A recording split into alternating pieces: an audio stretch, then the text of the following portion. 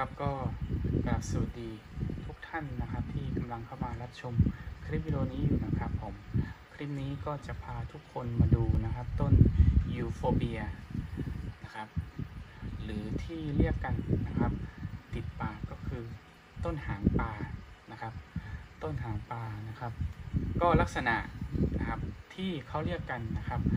สาเหตุที่ตั้งชื่อว่าต้นหางปลาเพราะว่าลักษณะใบของเขานะครับ ลักษณะใบของเขาที่ทุกท่านเห็นนะตอนนี้มีลักษณะเหมือนหางปลานั่นเองนะครับ ซึ่งต้นนี้นะครับก็อยู่ในตระกูลยูโฟเบีย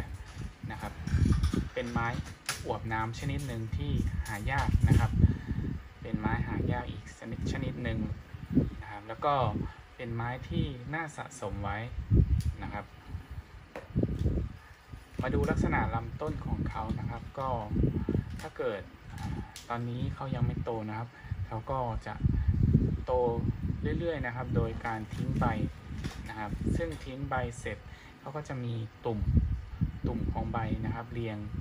เรียงกันนะครับเป็นเส้นทะแยงหมุนขึ้นไปเรื่อยๆนะครับผม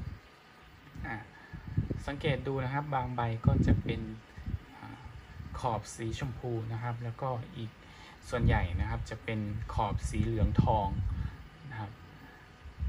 ขอบสีเหลืองทองสวยงามมาก ๆนะครับสำหรับวิธีการดูแลรักษานะครับ ก็เป็นไม้ที่ดูแลรักษาง่ายนะครับ ซึ่งเขาชอบแดดนะครับ ตากแดดได้ทั้งวันนะครับ แล้วก็การลดน้ำนะครับ ไม่ชอบน้ำรดน้ำสัปดาห์ละหนึ่งครั้งพอ แล้วก็ใส่ปุ๋ยนะครับอยากให้เขาโตเร็วนะครับ ก็เพิ่มสารอาหารเร่งปุ๋ยให้เขานะครับ ผมแดดพอปุ๋ยพอรดน้ำนะครับแป๊บเดียวครับเขาก็จะมีการเจริญเติบโตที่ค่อนข้างเร็วเหมือนกันนะครับ พอเขาทิ้งใบเสร็จนะครับเขาก็จะผลิใบใหม่ออกมา หากท่านไหนที่สนใจนะครับ ก็สามารถสั่งซื้อได้นะครับที่ใต้คอมเมนต์นี้นะครับ เดี๋ยวผมจะทิ้งทางเพจลิงก์เพจหน้าร้านนะครับ สามารถสั่งซื้อกันเข้ามาได้นะครับ ราคาไม่แพงนะครับ โอเค คลิปนี้ก็ฝากไว้เพียงเท่านี้ครับสำหรับต้นยูโฟเบียหรือว่าต้นหางปลานั่นเองนะครับ ผมหวังว่าทุกท่านก็